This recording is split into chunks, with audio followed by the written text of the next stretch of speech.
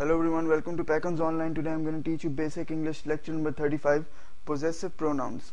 Uh, possessive pronouns के अंदर ये सब आते हैं mine, ours, theirs, yours, his, her, its.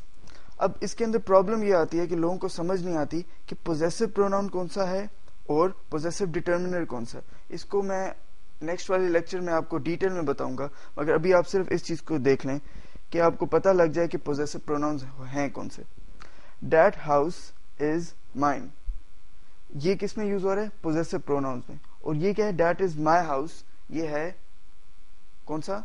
Possessive determiner okay so then in the next lecture I am gonna explain you in detail इसको detail uh, में आपको